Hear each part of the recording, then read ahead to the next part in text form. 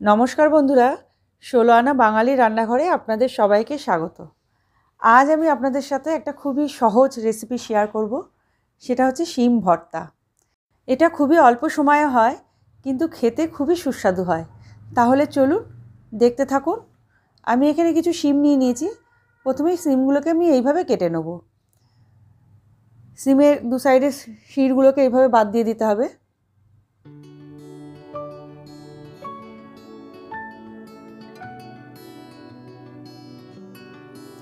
সিমগুলো আমার সব কাটা হয়ে গেছে এবং ধুয়েও নিয়েছি আমি। আমি গ্যাসের উপর একটা ডেচকে বসিয়ে দিলাম। ডেচকের মধ্যে আমি সিমগুলো দিয়ে দিচ্ছি। দিয়ে আমি এক কাপ জল দিয়ে দিলাম।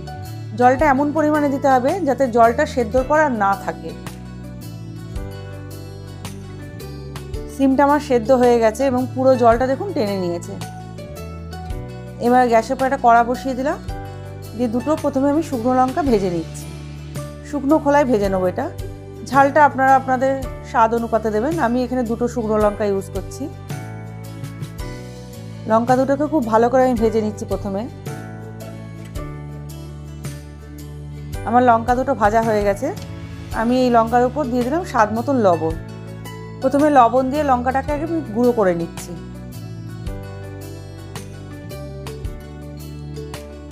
লঙ্কাটা আমার গুঁড়ো করা হয়ে গেছে। এবার একটা বড় সাইজের পেঁয়াজ নিয়েছি। আর দু তিন কো আমি রসুন কুচিয়ে নিয়েছি। দিয়ে এবার এই লঙ্কা গুঁড়োর সাথে পেঁয়াজ আর রসুনটাকে ভালো করে মেখে নিচ্ছি। এভাবে চটকে মেখে নিতে হবে। আমার মাখা হয়ে গেছে। এবার এই সেদ্ধ করা শিমগুলো আমি এর মধ্যে দিয়ে দিলাম। দিয়ে পেঁয়াজ, রসুন আর এই লঙ্কার সাথে সিমটা খুব ভালো করে মেখে নেব। আমি এখানে এক টেবিল চামচ মতন সর্ষের তেল দিয়ে দিলাম। এবার খুব ভালো করে আমি মেখে নিচ্ছি।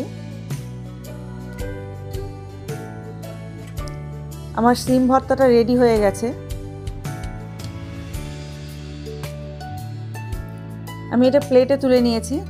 এটা খেতে খুবই সুন্দর হয় এবং গরম ভাতের সাথে খেতে ভীষণই ভালো লাগে।